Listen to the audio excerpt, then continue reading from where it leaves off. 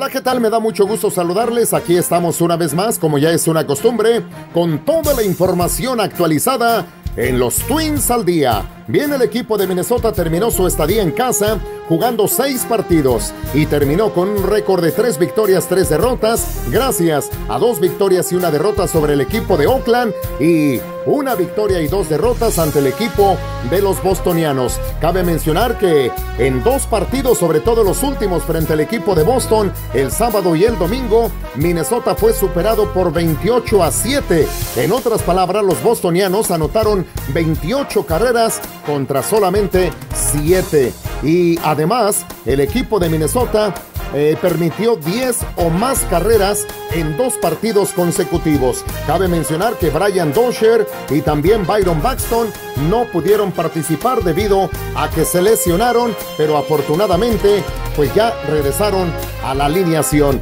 También eh, cabe mencionar de que Miguel Sanó perdió la multa, perdió la apelación y sobre todo de que se perdió un partido, partido que fue eh, precisamente el castigo del juego del martes por la noche ante los Medias Blancas de Chicago.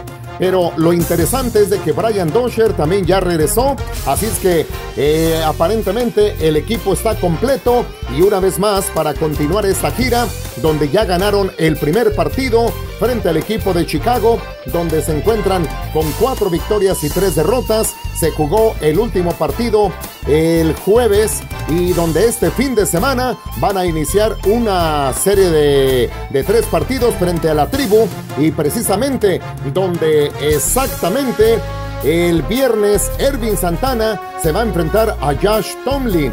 El sábado por el equipo de Minnesota todavía no se sabe a quién van a mandar al montículo, mientras que por el equipo de, los eh, indios de Cleveland va a lanzar Mike Clevinger. El domingo, en el último juego de la serie, Héctor Santiago, que fue el pitcher ganador del pasado partido del martes, donde ganó el equipo de Minnesota siete carreras a dos y donde Héctor Santiago se alzó con su cuarta victoria de la temporada y solamente una derrota. Se va a enfrentar a Trevor Bauer.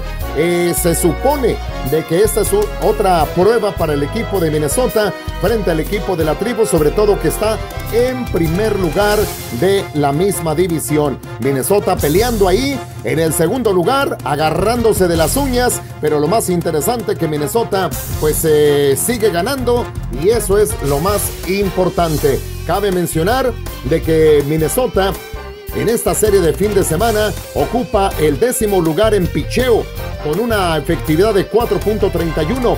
Eh, se encuentra en la Liga Americana en séptimo lugar en bateo, bateando 246 a nivel de equipo y en defensa se encuentra en segundo lugar con solamente nueve errores. Comparado con el año pasado, pues no hay ninguna comparación, damas y caballeros. Por cierto que Minnesota tiene un récord de 8 victorias y 4 derrotas jugando fuera del Target Field para acumular un récord o un porcentaje de punto 667 en cuestión de porcentaje ganador, empatado con Washington para el segundo y más alto en el béisbol, solamente atrás del equipo de Colorado que tiene 11 victorias, 5 derrotas, jugando fuera de su casa.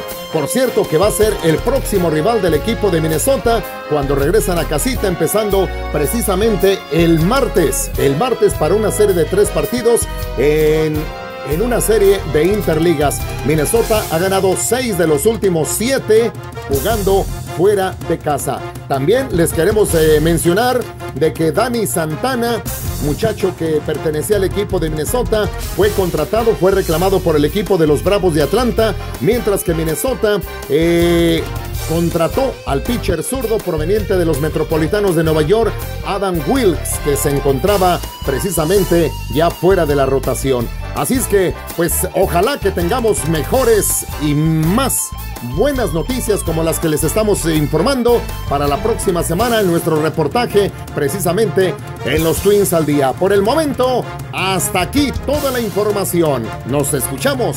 Hasta la próxima. Les dice un servidor, Alfonso Fernández.